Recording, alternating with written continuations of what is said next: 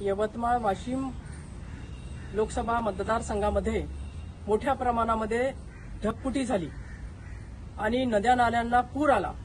त्यामुळे सर्व शेती त्या ठिकाणी पाण्याखाली आली आणि अशा परिस्थितीमध्ये त्या शेतींचे सर्वे व्हावेत आणि तात्काळ मदत मिळावी या संदर्भामध्ये अनेक कास्तकारांचे फोन मला आलेत आणि ही परिस्थिती जेव्हा माझ्या लक्षात आली मी पाहिली आणि त्यानंतर मी तात्काळ या राज्याचे मुख्यमंत्री आदरणीय शिंदे साहेब आणि उपमुख्यमंत्री आदरणीय फडणवीस साहेब यांना मी पत्र लिहिलं आणि माझ्या पत्रामध्ये किंवा माझी मागणी ही आहे की विदर्भामध्ये सतत या माझ्या मतदारसंघामध्ये सुद्धा सतत पाऊस पडतोय. आजही पाऊस थांबलेला नाही.